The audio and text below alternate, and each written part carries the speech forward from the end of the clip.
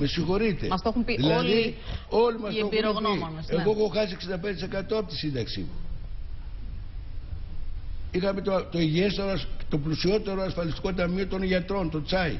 Για πέστε μου, δίνει σύνταξη; Όχι με περικοπή, αν δίνει σύνταξη με το τσάι. Πόσο χρόνο, 1,5 χρόνο και έχει να πάρει σύνταξη καινούργιου συνταξιούχους.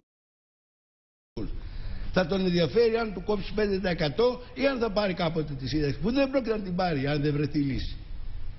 Πού πήγαν τα λεφτά του τσάι; Από το μεγάλο κτίριο που το πήραν και το δώσανε στη σταδίου. Από το κούρεμα. Από τα δομημένα ομόλογα. Από τα χωρίς τόκο λεφτά στις τράπεζες. Πού πήγανε όλα αυτά; Διότι υπάρχουν και δύο μορφίες.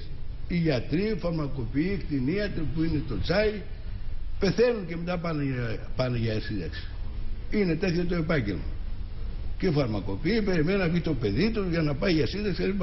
και βάζουν από, την, με- από το πτυχίο και ύστερα βάζουν λεφτά Κύριε στο Μανιά, τσάι. κύριε Μανιά, αυτή είναι μια διαπίστωση που κάνετε. Μπράβο.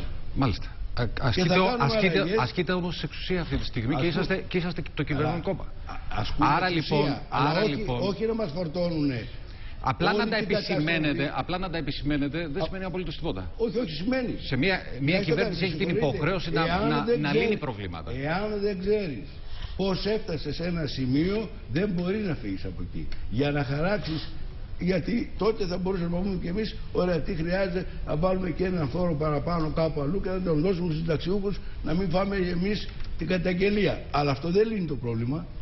Πρέπει να βρεθούν έσοδα στα ταμεία. Πρέπει να αποκατασταθούν οι εργασιακές σχέσεις. Πρέπει να, να γίνει ένα πλαίσιο. Αυτό είναι που θα φτιάξουμε. εμείς. Μάλιστα. Ένα Κυριακή πλαίσιο- Κοντιγκερτή που λένε, γιατί ακόμα δεν έχουμε δει και Ακριβώς. το